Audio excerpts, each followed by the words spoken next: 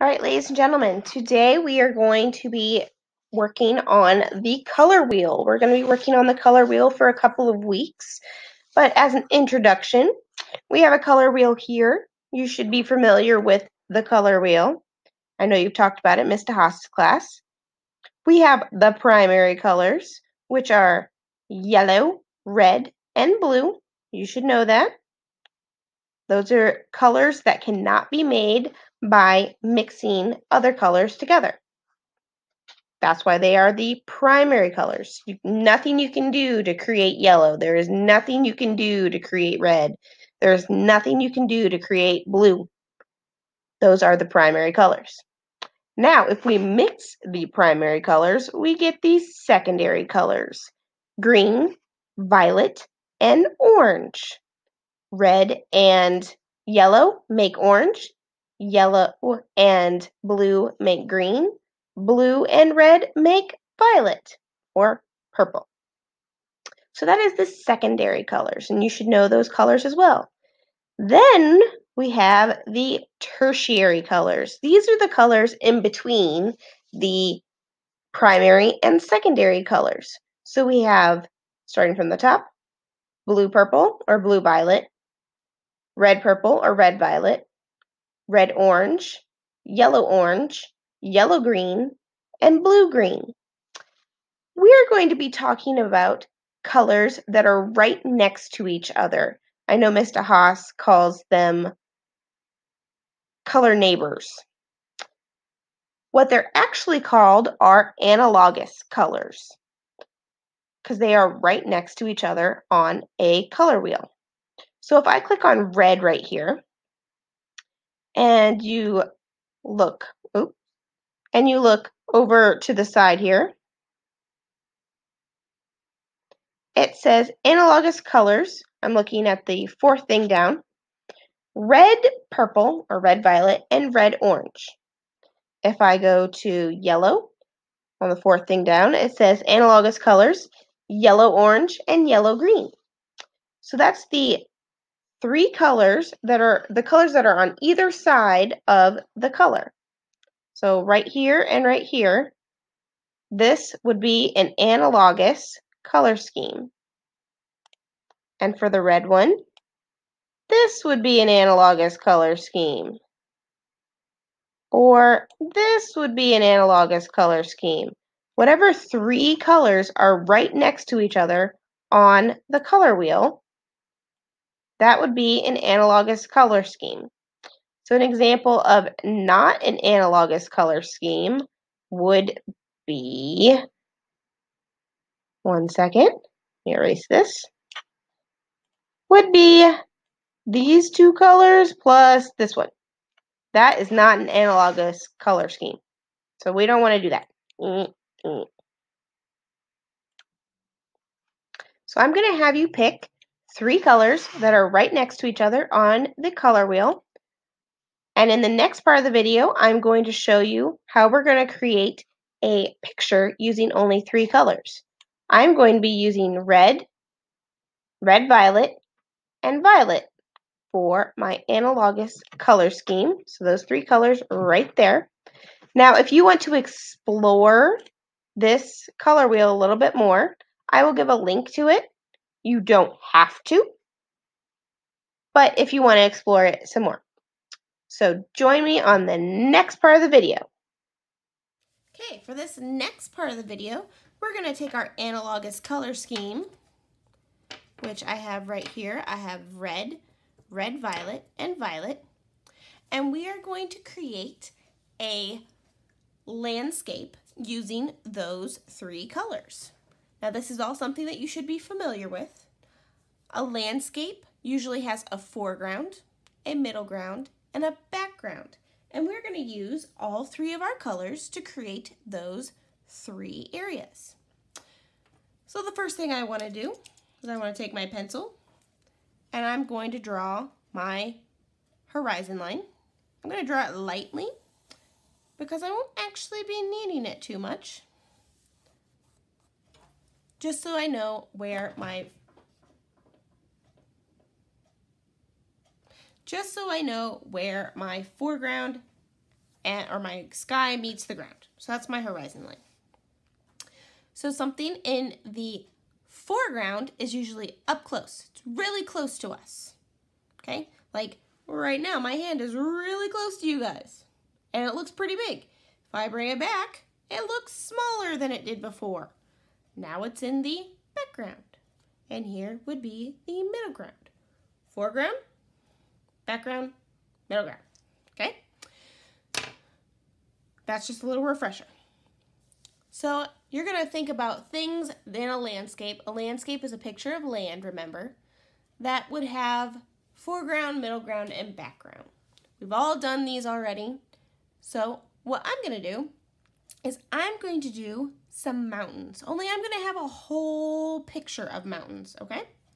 So I'm going to have one big mountain. Maybe I just see the mountain top in my foreground. And then behind that, maybe I have another mountain, but it's going to be smaller, remember, and they're going to overlap. So I have a whole a range. I have a whole mountain range going on here. Okay?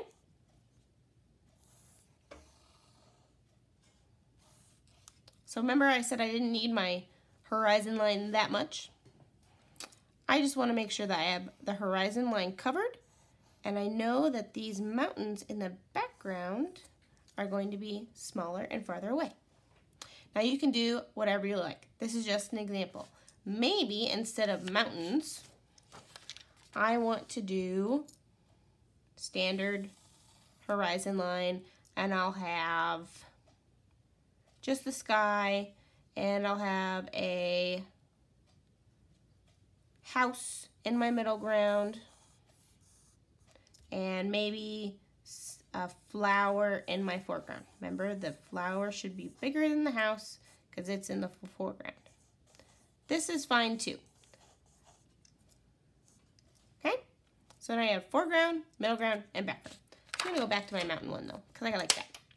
So I'm going to be using these three colors to show analogous with my mountain ranges. So I'm going to make my foreground be one color. I'm going to make that red. Pro crayon tip. Color the edges of your area first and then go back and lightly color over everything and you want to overlap the different layers of your coloring and it will make a crayon coloring much more neat. You won't have all those streaky lines like sometimes you do when you color with a crayon. The key is to start off coloring lightly and then to color over top of it in many layers, just like you would layer your shirt.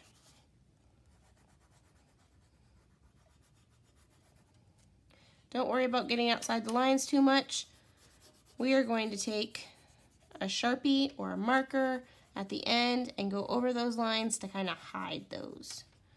I'm going to finish up real quick coloring my foreground and I'll be right back. All right, so those mountains are in the foreground. A good way to tell if it's something's in the foreground, if it's touching the bottom of your page, it's probably in the foreground. Then I'm going to take my next color in the analogous color scheme. Remember, it goes red, red, violet, and then violet. So I'm going to use red, violet next. And I'm going to cover color my middle ground mountains. So that would be like this one here, and this one, and this one, and this one, and this one. So I'm going to color those five mountains and I'll be right back. Okay, now I have my second color done. Now I'm going to move on to my background mountains, which I'm going to do in violet. Remember, it goes red, red, violet, and then violet. So I'm going to color all these mountains in the background, so those four mountains there, with my violet color. I'll do that, and I will be right back. So now I have my mountains done.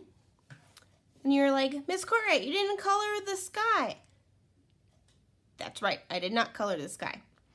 That is because I'm gonna let you do what you want with the sky.